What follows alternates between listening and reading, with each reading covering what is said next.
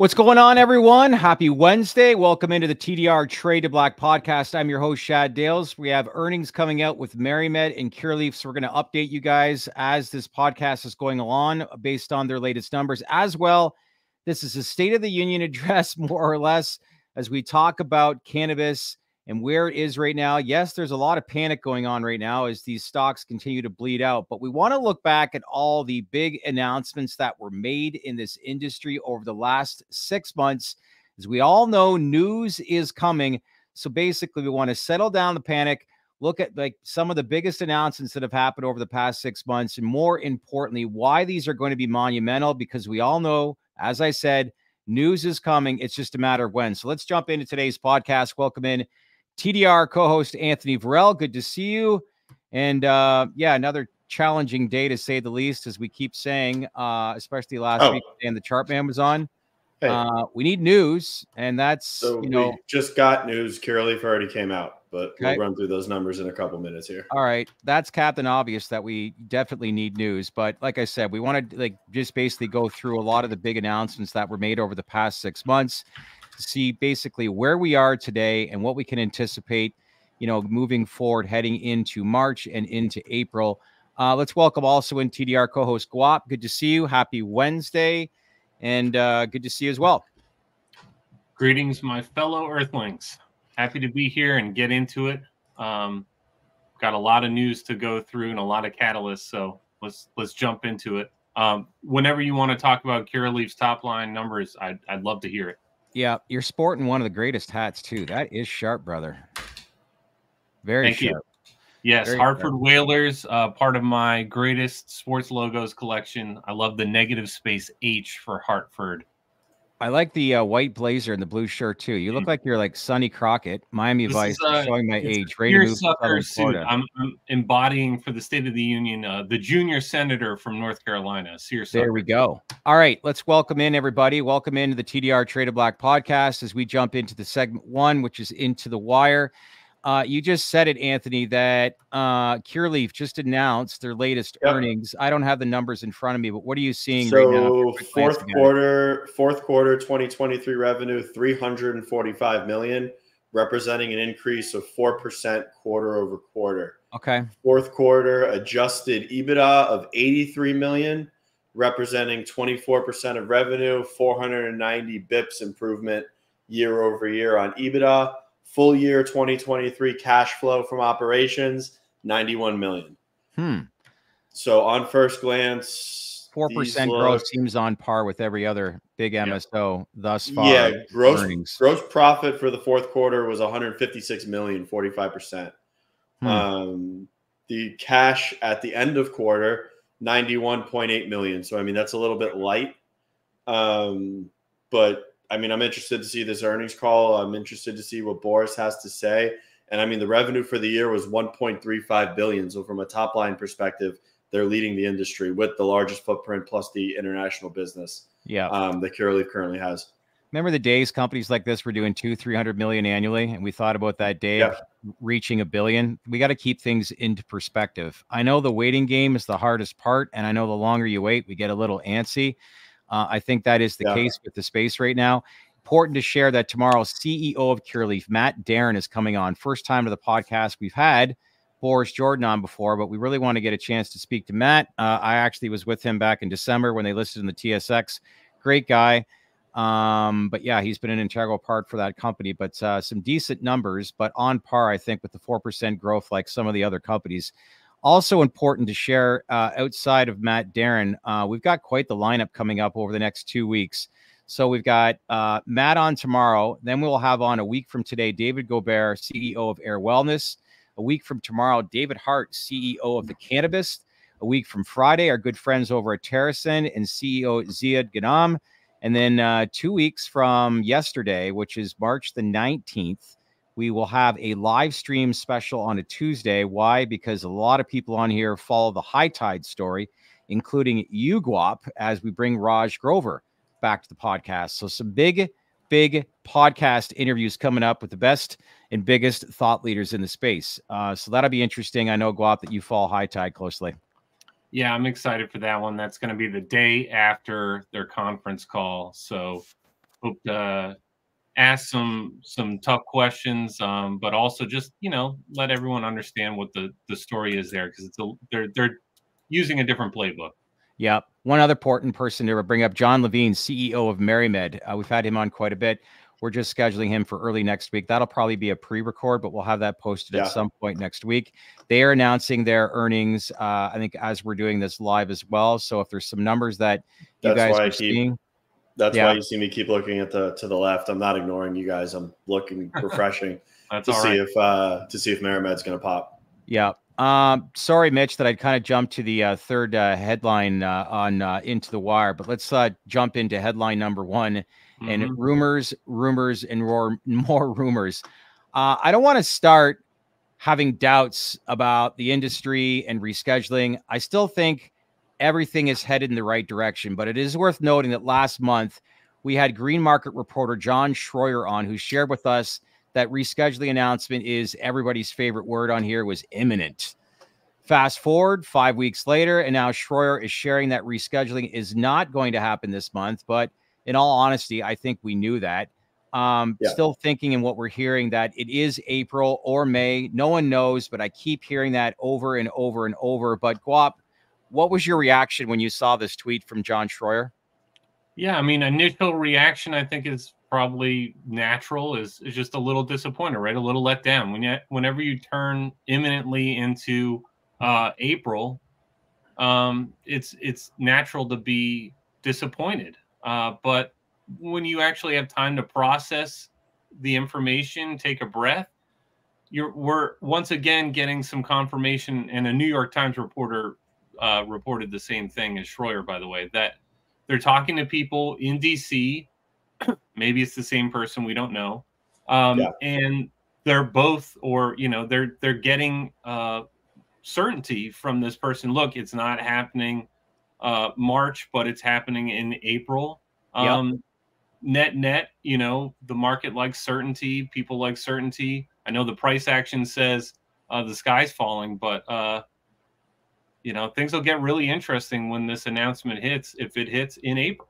Yeah. Well. Um, more more thoughts on it. I mean, I think it's it's understandable for people to get very frustrated um, whenever someone puts out a prediction based on a source that they got from DC, it's easy to dismiss the source and the mess kill the messenger. Um, yeah. We want people and journalists like Schroyer and and people from the Times to share this information with us. Um, so you know, it, it, I think this is probably like I tweeted earlier. You know, a result of uh, sharing information uh, from a like woefully uh, inefficient government process, right? Yeah, I hear um, you. Anyone who's tried to predict optimistically what politicians are going to do has been wrong. Um, so we just have to to sit and sit tight and uh, wait for April. Yeah, um, Happy Burns writes, I think having doubts is healthy, Shad. We've been head faked for years, can still be optimistic about it, but no need to be blind. Fair enough. And I completely agree with your yeah. sentiment. Um, we've been down this road a million times. Uh, we've never ever actually seen, though, an HHS recommendation to the DEA that rescheduling take place. The more that we can get agencies involved and less politicians, uh, I think that's just a positive sign. And that's why there's been so much positive uh, interest uh, in this industry over the past six months. But again, it's just the waiting game. And I know you love this topic more than anyone, Anthony. so, I mean, let me just preface this. Like, I like John, I, I respect John. I respect Deborah. I like the Green Market Report. Yeah. What John said yesterday, I don't really think needed to be said. We didn't I, need to hear that it's not definitively coming in March, that it might be April. If anything, that's just going to cause more negative sentiment. Yeah. We'd be better off just sitting there thinking, all right, it's coming. But to hear that it's not coming, that just gives more uncertainty. That's causing people to sell. That's causing people not to wait. Like it's just a net negative. There was no positive that came out of that. Do we have Zero. that tweet up? Uh, can you bring that tweet up, Mitch, if you have it? Yeah, there it is, right there.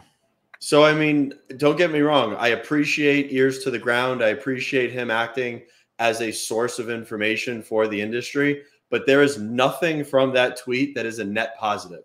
If anything, it was a net negative, a hundred percent. Yeah. So, I mean, sixty-five thousand views. Though. Yeah, I mean it's great, but I mean he's not monetizing his ex. He's not monetizing his ex his ex profile off of that. There was there, there was nothing to gain from it. I mean it's great insight.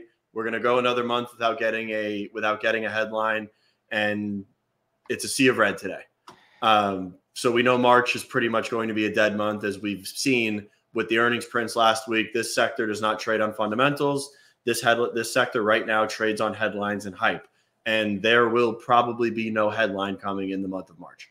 Yeah, I hear you there. Well, it's not holding back. Henry Lopez just bought the dip. Good for you, Henry. If that's what you feel confident with. And buying dips are buying dips are great. I mean, you DCA into positions. If that's the kind of investor you are, and that's how you want to manage your money, it's fantastic. But I mean, that being said, don't forget that these stocks are well 100% off of most of the lows from before the HHS announcement. So I mean, if we're going to get another four weeks of nothing, like they can drift lower yeah. um, to, to much lower levels. I'm yeah. not saying they're going to, and I sure as hell don't want them to.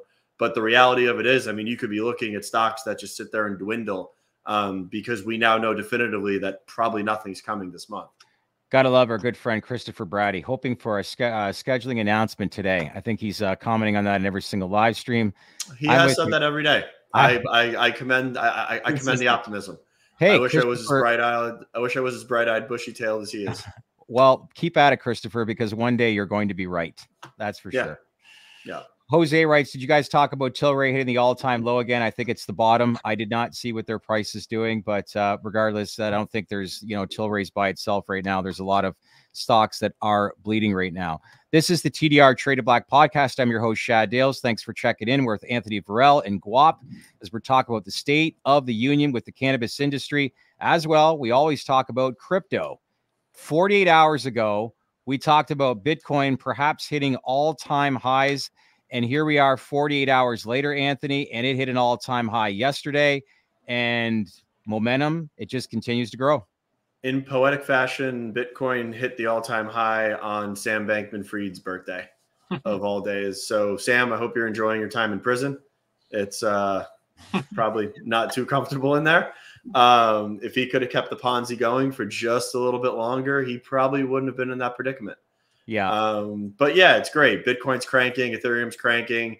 I mean, here's the silver lining. Yep if you want to go on a sector being legitimized with a major ETF and how capital inflows to that ETF are going to that. affect the underlying assets, just look at what the Bitcoin ETFs did to Bitcoin. Not going to say that this is going to happen, but the writing's kind of on the wall. If we get Schedule 3, institutional capital starts to come in, MSOS starts to see massive capital inflows I'd be willing to bet the underlyings are going to start to have charts that look like Bitcoin. Yeah. Um, from the inception of the ETFs when the gloves are off and that capital can actually come in. Um, it might be a while until that happens, but the good thing for us is, is we're not waiting on approvals.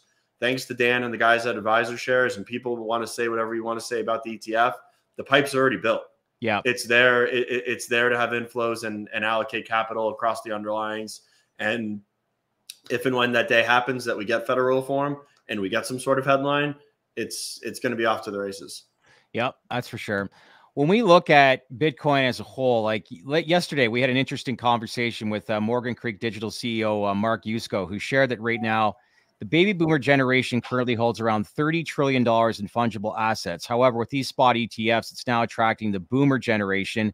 And if we look, you know, about potentially an influx of capital uh, allocated towards Bitcoin. There were some staggering numbers that he shared with us, and uh, you know, do you want to maybe bring up some of those numbers and stats that he was uh, speaking with us, uh, Anthony? Yeah. So I mean, with the with a thirty with a thirty trillion asset through thirty trillion dollar asset pool, if one percent is allocated to that, I yeah. mean, you're looking at a if one percent of that is allocated to Bitcoin, which right now people are allocating money to Bitcoin without actually allocating money to Bitcoin.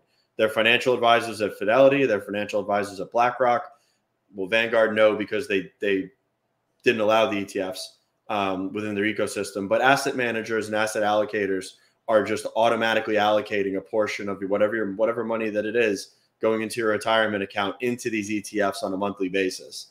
If and when that wealth is transferred, yes, and it's actually unleashed, I mean, one percent might be a small number compared to what's actually going to be allocated towards that asset class, especially if you want to look at Bitcoin as a hedge against inflation or digital gold, um, which I think in the, the the modern portfolio is about a three percent allocation to assets like gold. So three percent gets allocated. You're looking at about a trillion dollars. That's a lot of money. Um, that could be, yeah, it is a lot of money. Now you can understand why people are so optimistic and the upside to uh, where Bitcoin is headed.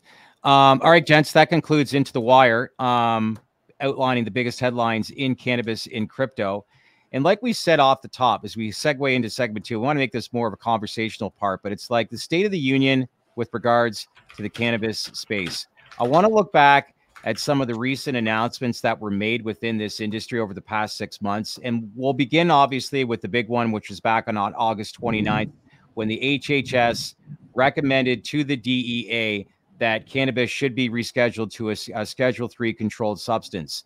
Uh, when we look back at that announcement, Guap, I'll start with you.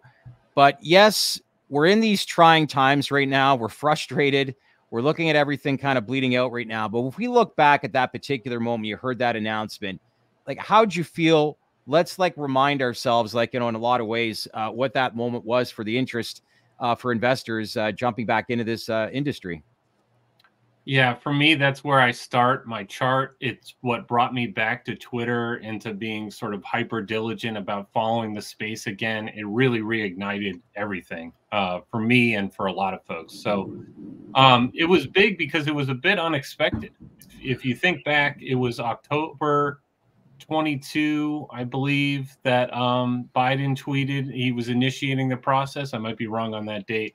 Um, but Secretary Becerra had given himself to the end of the year 23 to uh, make a recommendation and came in well ahead of schedule on like a random Tuesday, August yeah. 29th. So, um, obviously, the volume was massive in MSOS. Uh, everyone started following the space. Mainstream media got a hold of it. I mean, it really lit a powder keg of attention there. Um, so, that's where I start the chart. Yeah, no kidding. And really, I think it brought a lot of investors back into this space. Don't you? You know, that's Captain Obvious again. I'll say, Anthony, but you know, brought enthusiasm. It, it definitely brought enthusiasm, and it legitimized it. I mean, the HHS recommendation legitimized cannabis. I yes. mean, when we saw that unredacted HHS report, which I know we'll get into downstream, but when that thing was sent over to the DEA, everyone was put on notice that cannabis is being looked at legitimately yeah. by the federal agencies. That was the biggest inflection point that we're probably going to see outside of the actual announcement of these of rescheduling. Yeah, and then stocks ripped for what three weeks? Was it three weeks? About three weeks, and then round tripped it right back to where they were. Yeah. Well, we fast forward four weeks later. It goes into our next announcement. We were actually at the Benzinga conference in Chicago. All three of us were, and we got the news that Safer Banking passed the Senate committee, producing more momentum where uh, I think Anthony, when we were there, it was positive vibes in comparison yeah. to what the conference was uh, last year in April. Uh, it was like a complete 180, but a lot of momentum was building and a lot of positive sentiment was growing when we were at that conference pertaining to that announcement. Yeah, I mean, it was great. It was a feeling of jubilance. Um, it was definitely an awesome feeling like, oh, safe might actually happen. That being said, I know I've saw it on the timeline today. There's a lot of people that are saying that safe is starting to rear its head again Schumer mentioned it twice today. I'm not going to talk about safe outside of this segment unless something actually gets taken to a floor vote. Um, Chuck's just dangling the bill. He's like we've said, he's got the sponsors. Don's legitimized that he's got the sponsors. Um, safe is is cool. It's a good talking point, but you can't base any of your investment thesis or any of your enthusiasm towards the cannabis industry based on the Safe Banking Act from what we have seen thus far. Like I yeah. said, we celebrated the 10 year anniversary of it being introduced um, this year. I mean, yeah. that's that's pretty much all you need to know. Well, I think one thing that I'm learning more than anything over the last couple months is just the dialogue that uh, Don Murphy has been, you know, talking to us, having these conversations. Uh, if there's any person that I rely on as far as credibility, as we've said before, he has no vested interest. You know, he has not invested in this space. He's going based off the, you know, the credentials and the contacts that he has in Washington. His latest tweet last week was saying that we should have safe at some point in July. And yeah. I asked the question two weeks ago do you still feel very confident that rescheduling in safe happens before the election? And his flat out answer was one word, and that was yes. And we haven't heard him say that before. You know, like any boss. And I believe, and I believe him. I, yeah. I, I, I believe Don on that. I believe Don at face value with what he says. Yeah. But am I going to base any of my forward and am I going to base any of my go forward investment decisions around the Safe Banking Act or put on a put on a list that I think a catalyst, a major catalyst this year is going to be safe banking and deploy capital around that? Absolutely not. Yeah. Uh, thanks for everybody for checking in. Actually, just looking at the numbers right now, this is actually our biggest live stream uh, to date, you know, here this afternoon. So if you're new to the program, make sure to click on that like button, smash it, leave comments below. We want to build this community and make this go viral. YouTube loves those algorithms. So liking and providing comments below, feel free to like put out any comment. We'll address it here on the podcast here today. But uh, again, we appreciate. And as usual, we have our daily newsletter here at TDR called the Baked In Newsletter. Mitch, if you can add that link into the comment section or log on to the dalesreport.com.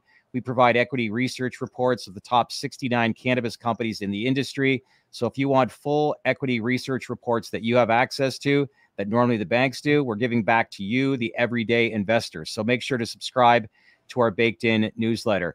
Uh, back to our announcements over the past six months, like all good things come to an end. And I don't want to say we're at an end, but shortly after that announcement, chaos ensued, obviously, in Washington when uh, Matt Gaetz, uh, Congressman Matt Gaetz had then Speaker of the House Kevin McCarthy removed. And essentially, it ended a lot of momentum.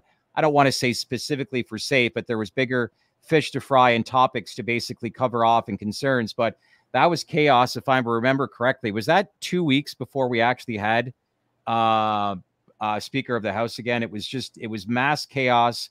Like I said, two weeks. And you know, killed a lot of momentum that uh, Safe was uh, building. Guap. Yeah, I mean, it. I, I don't want to comment on on all that uh, process in the in Congress, but yeah, I mean, suddenly the House was not a functioning branch of government. You know, it's like legislative. No, Matt, Gaetz, legis- Matt Gaetz took it over himself. Yeah, we thought legislative uh, was our least efficient branch of government. I mean, when it really shuts down, it and they don't have a speaker, it it uh yeah, Safe's not passing that week. Yeah.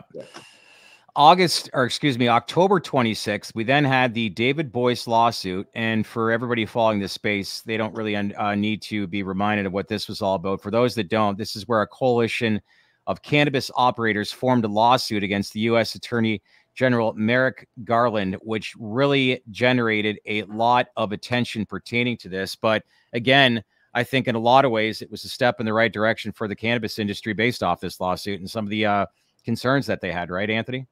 Yeah, it's great. I mean, the Boies' lawsuit, again, like I've said, all three branches of government are in talks for cannabis reform with the judicial, legislative, and executive.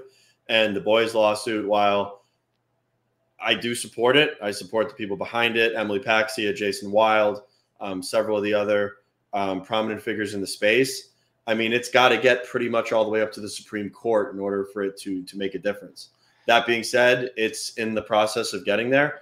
Um, I hope it does get there, um, and it's definitely another meaningful step and a meaningful like cog in the wheel of notable notable reform that's going on in the cannabis space. Yeah, that's for sure. Rainy UK writes, not knowing the U.S. government timetables. So, what would you say are the April quote potential dates to mark on the calendar would be? No one knows. If anyone tells you around 420, they're full of shit because we have yeah. no idea. Yeah, nobody knows any dates. You'll never hear me put a date out of my mouth as far as any of these timelines or whatever goes. Like I said, I'm sticking to my guns. I said early Q2, late Q1. That's still intact. Yes. If it passes, I was wrong. This but, guy's got one of the greatest names, Skip Swellman. Love the name. I have nothing yeah. to argue with Anthony about. He's on point today. Thank you, gentlemen. What were you going to say? Yeah, we will not. Be, I won't be giving. We won't be giving out dates on the show anytime soon. As far as uh, as far as the uh, speculation around Schedule Three. I mean, I know it's been State of the Union. It's been 420. There was a couple of other dates. They're great in they're great conjecture and great in conversation, but not today. Yeah, William Jonathan, we are waiting for you guys to talk about Curaleaf. We did top line it a bit we off did. the top if you were late. So after this podcast is done, we did touch on that. But a quick reminder if you were late running into the podcast, CEO of Curaleaf, Matt Darin, will be coming on for a special live stream tomorrow beginning at four o'clock. We'll dive deep into those numbers. But right now, from what we're reading, it seems to be on par with the other MSOs where we saw 4% growth but a big number. What was it? 1.35 billion for 1.35 billion. So yeah, Curaleaf again leads the industry in top line revenue. And I mean, from what I can see, the numbers are pretty good. I'm going to dive into these deeper after so we can get a real talk out of Matt uh, tomorrow. And then I look forward to listening to Boris after the on the conference call after yep. we jump off this. Okay. Uh, next big announcement, and this is probably the biggest one outside of the HHS recommendations, was the unredacted HHH HHS drop, which really opened up a lot of eyes as to how long people have been misled, Guap, about cannabis for quite some time. When you read this, what do you think kind of impact this had, not only for the cannabis landscape, but uh, a lot of people from Washington, once they uh, actually this went you know viral and was public information. Yeah the leak on august 29th uh, where it said you know it recommended to be schedule three was our understanding. Yeah. it wasn't really confirmed until we saw the unredacted document. So there was still some uncertainty floating out there um, and this cleared that up rather quickly i would say the 20 august 29th leak was like in in stock shooting up as a cannabis investor. That was my most exciting uh, day. That's what got me to tune it back in in recent history. Um, but this unredacted drop of the actual information yeah. is my favorite moment in like I don't know cannabis history. I know like it, it it was massive because it was the government essentially admitting that the war on drugs was a waste of taxpayer resources. Yeah. You know, that it's safer than alcohol, that it's medicine, um, and that it was definitely at least schedule three, right? It uh, left the door open for perhaps uh, an, a real argument for descheduling at some point eventually, right? No yeah. dates. But for me, this was a, a massive moment for a lot of people. This was uh, vindication. It was confirmation of of stuff we already knew. Uh, it it you know 250 pages uh, still gets me really excited to talk yeah. about. Anthony, listen, you followed this space for a long, long time. You both have. If we look back at you know one, two, three years down the road from now, and look back at this announcement when this information went public, do you think we look back at this and say this was a massive turning point for the industry? Yeah, there's as far as I'm concerned, there are two points in history that are huge and the, the, the two biggest inflection points. Yep. For this industry, the HHS recommendation. Yep. When Constellation invested in Canopy. Those were the two. Those are the, the, those are two of the data points that we'll go back and see, and those were when the industry was legitimized. Yes. Constellation, enterprise level, enterprise level business, putting five billion dollars into Canopy growth say what you want about Canopy Growth, say they burned all the money, whatever. That was that that put everybody on notice. The sector ding, went ding, nuts. ding, ding, yeah. right? The HHS recommendation, and then when we actually get something implemented. Yeah. Um, with, with whether it be Schedule Three, safe banking, I would say might be just as monumental as one of those if it's implemented. But I think it would be Schedule Three would be the three, and then that's that's pretty much the Mount Rushmore of data points as to when this sector really took off. So, um, you, back in August, when the HHS made the recommendation to the DEA, you know, rescheduling will be as big as the Constellation announcement back in 2018 of $5 billion. But you think the recommendation is close to being on that par of like as far as significance for this industry? Yeah. I mean, it, it, it was, it was cannabis was legitimized. I mean, granted, the unredacted, the unredacted I win email um, from uh, from Shane Pennington and the On Drugs guys was pretty big. I mean, they said the quiet part out loud. They compared cannabis to alcohol in terms of just the general danger to society. They admitted medical benefits to cannabis. Yes. Like they finally said the they finally said the quiet part out loud.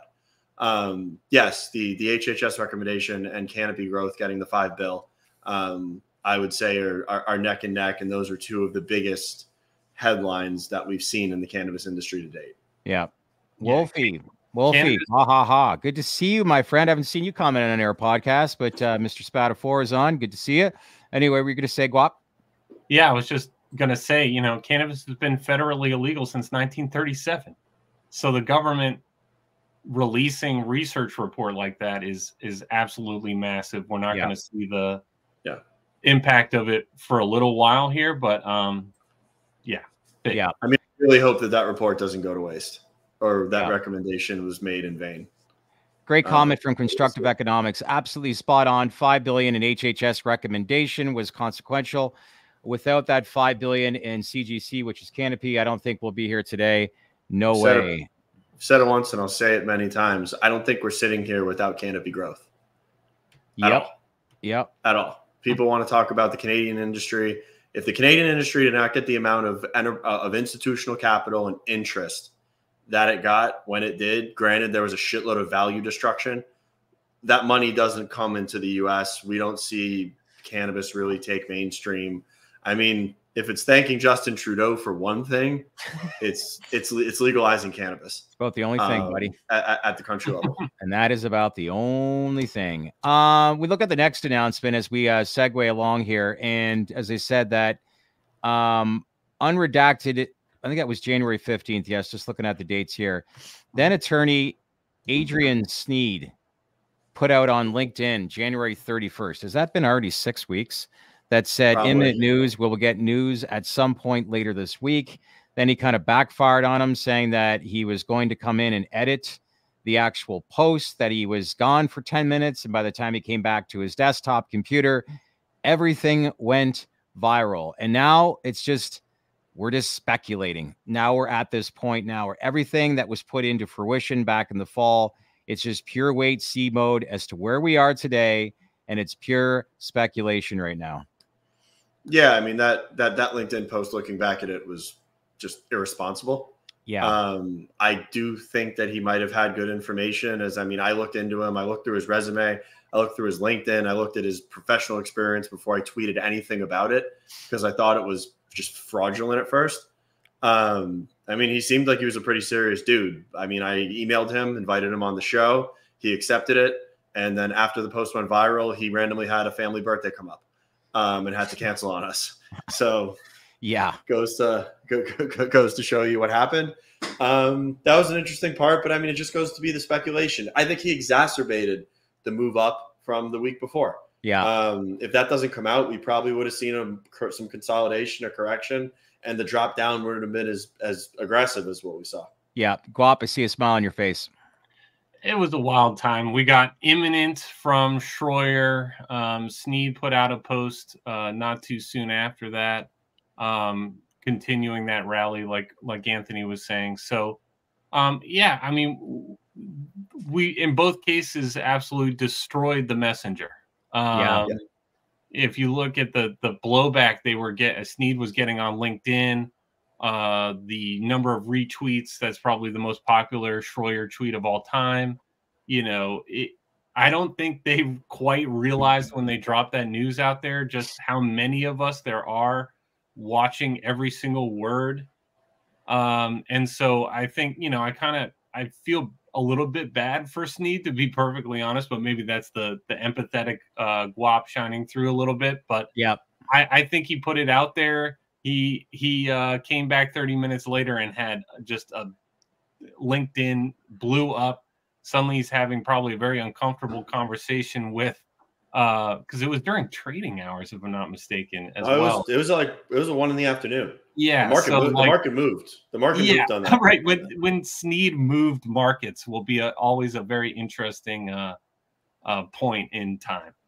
Yeah. Yeah. Uh, I think the window cleaner speaks on behalf of 99% of cannabis investors. If you don't have credible info, shut the up. Right. Yeah. That is that is a very true statement, and that holds true for cannabis. We're going to miss these Wild West days years from now, writes Ross Step. I don't know if we'll miss those. I, I do want to meet the sources at one point. I want to meet them. Yeah. I like what uh, somebody wrote here, Lance uh, Finlandson. We need some good news. yes, yeah. yes, we do. Um, well, and then that segues basically where we uh, mentioned off the top. Uh, John Schroyer, as of today, with the latest intel of DC and cannabis rescheduling not going to happen this month, but maybe in April, or it is DEA simply being cautious, moving slowly. Um, but this is not coming before April. So, all in all, as we've said all along, no one knows, but some of the powers to be within the industry, even going back to last fall, if they had to predict, they said end of Q1, early Q2. We're not there yet, but you know, we will see come next month if we do have an announcement. Um, but no one knows, as I said before. We continue to wait, but you know, I think at the end of the day, it's uh, it's an industry that is polarizing. People begin remain interested, as we've said in the last few podcasts. When you look at some of these catalyst moments outside of Washington, Anthony, you've talked about the ballot. No news is good news. Uh, if we get oh. adult use on the ballot in Florida, Ohio, yeah. Pennsylvania, Virginia, I've got a lot of people. I've got a lot of people telling me they're going to let the timer run out. They're not. You're oh. not going to hear anything. You're not going to hear anything from the Florida Supreme Court. Interesting. It's they're going to let it. They're going to let April first come, and it's going to elapse, and then it's going to get on the ballot. It's what these politicians, I think, are just going to handle. They're not going to put their name, stamp it, and get in front of this. It's just like they're going to turn yeah. a blind eye, and if they turn a blind eye, then people get what they want. They're not attached to it whatsoever. But more yeah. importantly, you know, the residents, the Floridians, and more importantly, people within this industry that follow closely from an investment standpoint get what they want, right?